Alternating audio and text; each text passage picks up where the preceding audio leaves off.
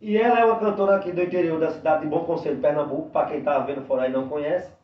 E ela tem um histórico muito, uma história sensacional na música. Ela cantava do lado do- de um cara que é um do- do- do- dos maiores nomes da nossa cidade, que foi Baixo Peroba, né?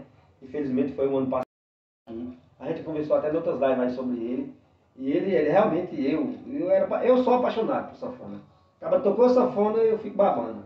E Baixo Peroba é, é um cara que ela, ela passou, foi 25 anos, foi assim, 25 anos cantando com mestre, né?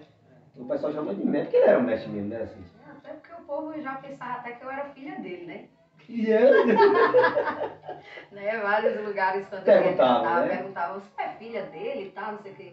Porque ele me pegou tão novinha pra banda dele, né? Que terminou realmente criando esse vínculo de pai e filho. Sim. Apesar que Bom Conselho, é, Bom Conselho colocou muito na cabeça outros tipos de coisa, né? Levava muito à maldade. Sim, sim. Infelizmente existe esse tipo é o ser humano, né? né?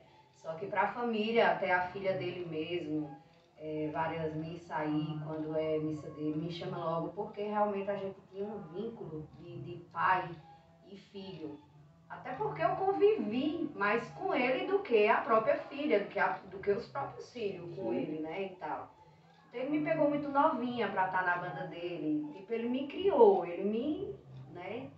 Então, é, foi muito doloroso sim a perca dele, né? Mas eu acho que seria mais doloroso se ele estivesse aqui nesse, nesse período dessa pandemia. Eu acho que ele não teria entendido nada, porque uma pessoa que era acostumada todo São João estar ali viajando, fazendo o show dele. Primeiro que ele estava com Alzheimer, né?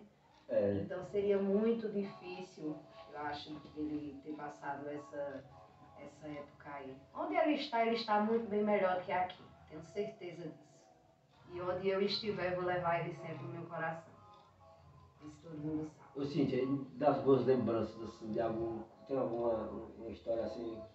Que a, a feita que tu falou de resenha do, de ter vindo de pé, lá, tem mais alguma assim com baixo, uma coisa Rapaz, tem tantas, Conta meu Deus do céu, tantas, porque se eu for contar todas as histórias que eu passei com Basto, né?